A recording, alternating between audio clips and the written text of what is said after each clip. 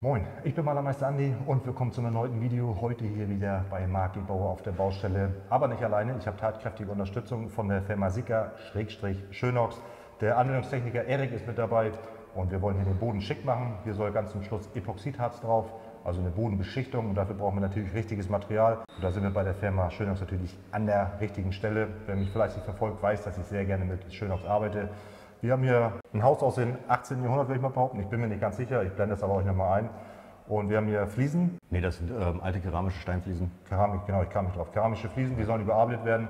Wir müssen sie einmal grundreinigen, wir müssen sie einmal verfüllen mit einer Grundierspachtelmasse, FP. Genau, Spachtelgrundierung. Spachtelgrundierung und natürlich dann noch zum Schluss ähm, nivellieren, ganz klassisch mit der HS10.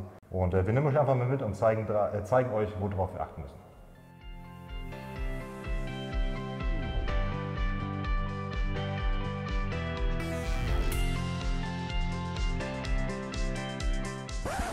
Und müssen äh, einen neuen Bodenbelag auf, aufbringen. Und dafür müssen wir natürlich erstmal spachteln. Ne? Ich, der Andi ist neben mir, weil ich kein Mikrofon habe. Als erstmal schmeißen wir das Ding an, gehen mal drüber, müssen erstmal eine Tiefenreinigung machen. Anschließend tragen wir die Spachtelmasse auf.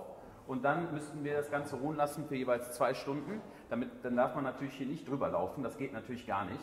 Und äh, so sieht das Ganze hier aus. Ne? Und ähm, ich würde sagen, ihr legt mal los. Mhm. Ich komme später nochmal zur Kontrolle vorbei. Mhm. Let's go.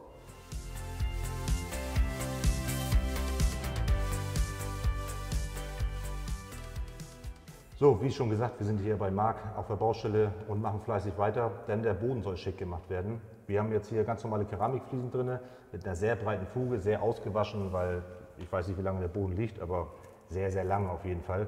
Und ähm, Erik, erzählt euch mal, worauf ihr achten müsst, bevor wir überhaupt anfangen, hier den Boden zu bearbeiten. Genau. Ähm, vorher erst natürlich ähm, gucken, ob wir eine Restfeuchtigkeit vom Untergrund her haben.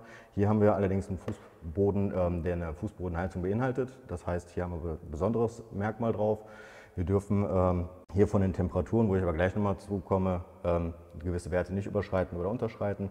Zur Feuchtigkeitsmessung machen wir hier mittels Gun-Hydromette, ne, Kugelkopfmethode, quasi in der Fuge, in der ausgewaschenen Fuge eine Messung, ähm, weil das ist der Bereich, wo das Wasser daraus diffundieren könnte. Und dann sehen wir hier das Ergebnis, können das quasi mit einer Umrechnungstabelle auf CM-Werte umrechnen und so wissen wir, was für ein Feuchtigkeitsgehalt der Untergrund hat.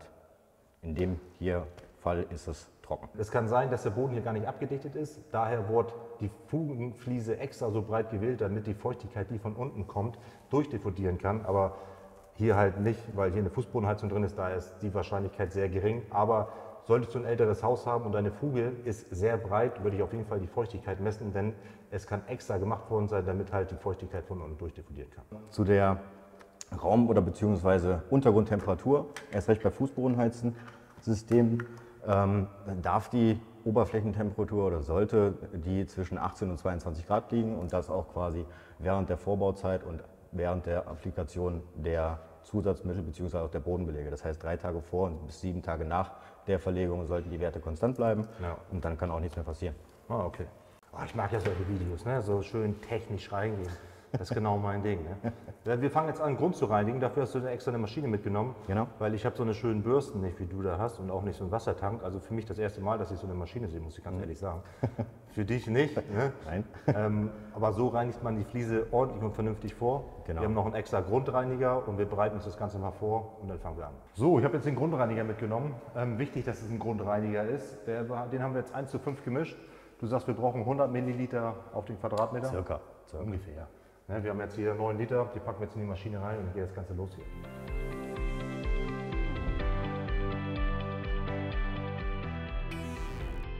So, für die Ecken haben wir so einen kleinen Schrupper hier, nämlich die Maschine ist rund und wir wollen die Ecken natürlich auch mitbekommen. Aber was ich ganz kurz loswerden will, wenn ihr so eine Maschine nicht habt, kannst du trotzdem mit einem Schrubber oder mit so einem Schleiflies den Boden reinigen. Aber die beste Variante ist natürlich mit der Maschine, da wir damit die ganze Trennschicht von der Fliese runterholen und die anschließende Grundierspachtelmasse FP perfekt auf der Fliese hält.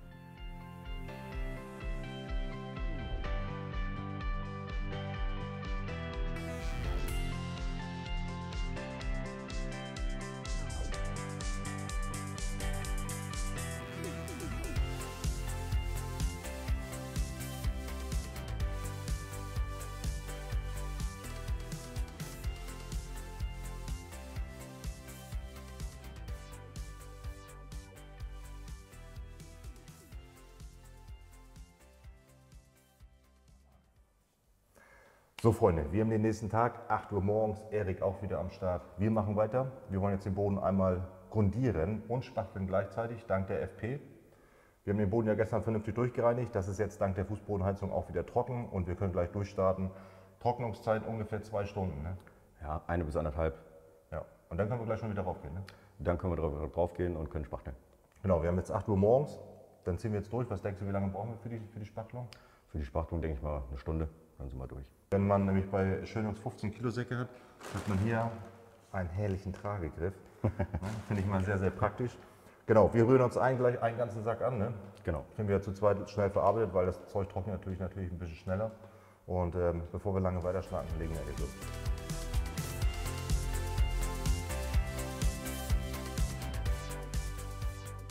So, hier sieht man nochmal die Konsistenz.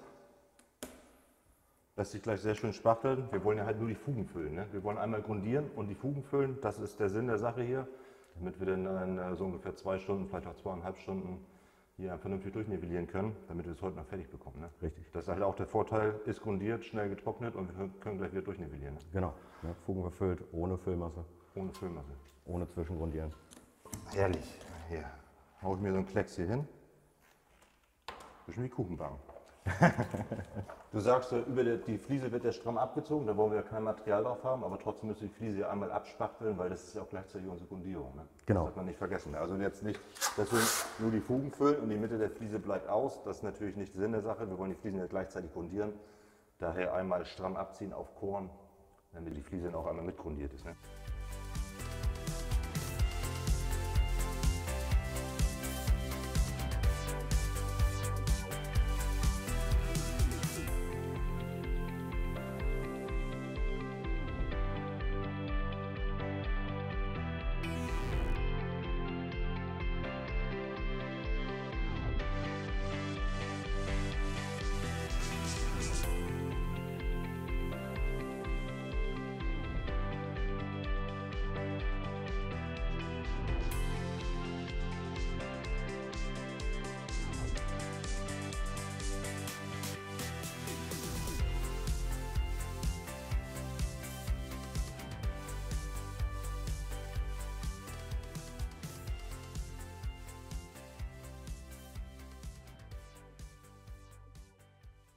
Wir haben jetzt hier die Baudehnungsfuge.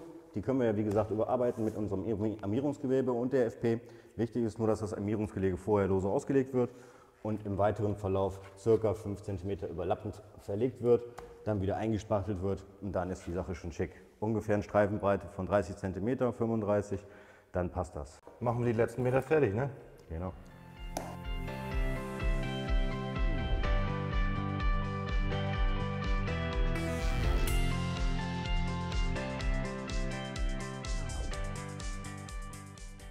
Freunde, eineinhalb Stunden später, die FP ist jetzt hier vernünftig durchgetrocknet und wir können die nächste Lage aufbringen. Wir wollen jetzt nivellieren mit der HS10. Die Bedeutung für HS10?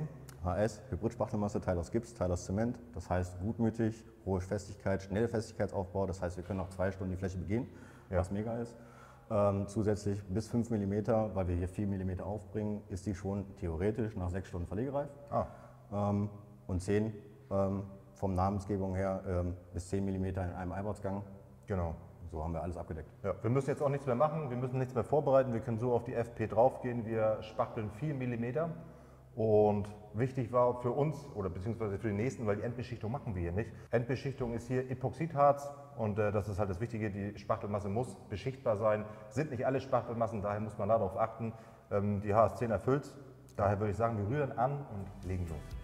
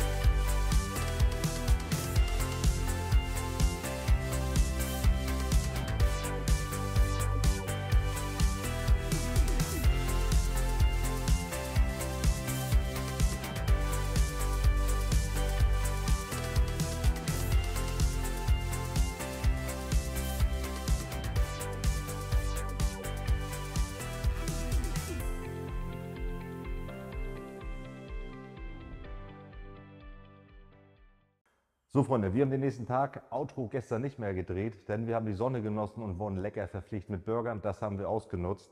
Vielen, vielen Dank an Erik, der hier tatkräftig mit unterstützt hat. Den hätte ich ja gerne mal mit vor der Kamera gehabt, denn ähm, er ist gestern danach gleich losgedüst. Eineinhalb Stunden später konnten wir die Fläche begehen. Ich zeige euch mal eine Insta-Story. So, eineinhalb Stunden später, alles schon wieder trocken hier, ne? Sieht sehr, sehr gut aus. Sieht sehr, sehr, sehr gut aus. Ja, heute mal ein bisschen früher Feierabend, ne? Da hätten wir das Auto auch schon drehen können, aber da haben wir dann auch Feierabend gemacht. Wie gesagt, Erik ist gleich nach der Fertigstellung hier abgedüst und ähm, somit konnten wir das Auto nicht drehen, weil ich wollte das Auto schon gern hier im Wohnraum drehen, damit ihr die fertige Bodenfläche gleich mal sieht, womit ich sehr, sehr zufrieden bin. Also auf Instagram wurde ich des Öfteren oder habe ich viele Nachrichten bekommen, ob das jetzt ein fertiger Boden ist. Nein, das ist Nivelliermasse. Und die Endbeschichtung führen wir gar nicht aus. Hier kommt der Epoxidharz drauf und da kommt eine andere Firma. Wir waren jetzt nur hier, um den Boden halt vorzubereiten. Wie gesagt, ich bin mehr als zufrieden. Solltest du noch Fragen haben, gerne rein unten in die Kommentare. In der Infobox verlinke ich euch alle Produkte und auch mal die technischen Merkblätter von der HS. Falls du da mal irgendwelche Fragen zu hast, kannst du da gerne mal nachlesen. Ansonsten würde ich das Video auch gerne beenden. Wenn es dir gefallen hat, gerne Däumchen nach oben. Ansonsten auch gerne kostenlos den Kanal abonnieren. Und ich hoffe, wir sehen uns zum nächsten Video wieder. Bis dahin. Ciao, Leute.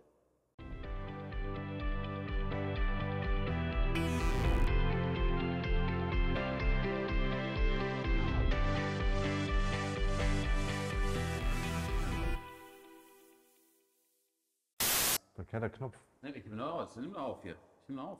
So weit. Okay. Ich hatte keine Ahnung. Du musst auf der Seite, dann kannst du da reinstellen. Ich habe hier gerade gekleckert, da es tut mir sehr leid. Ich verstehe eh kein Wort. Doch, ach so, weil. Ey, Mann, ey. Sieht gut aus.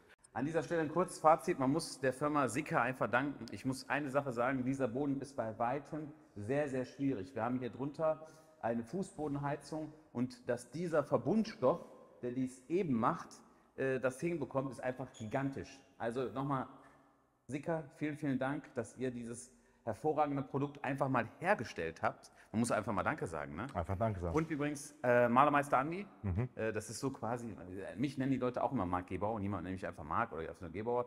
Ich nenne An, äh, Malermeister Andi auch immer nur äh, Malermeister Andi. Äh, ich würde nicht auf die Idee kommen, ihn einfach Malermeister zu nennen oder wahlweise Andi. Von daher an dieser Stelle auch einmal Danke dir. Und wir haben noch einige weitere Projekte, von daher würde ich euch an dieser Stelle empfehlen, diesen Kanal zu abonnieren, zu liken und einen Kommentar für den Algorithmus dazulassen, denn das, wie wir alle wissen, ist sehr, sehr wichtig. Sehr, sehr wichtig. Und äh, was wird als nächstes Inhalt-Video kommen? Einfach überraschen lassen. Einfach überraschen lassen. Vielleicht, ähm, vielleicht wird ja, werden, ja, vielleicht werden hier noch goldene Sachen gestrichen. Vielleicht. Vielleicht, vielleicht wird es festgehalten oder vielleicht auch nicht. Ach so, okay. Je nachdem, wie groß die Motivation ist. Also Leute, bis dahin, auf Wiedersehen. Ciao, ciao.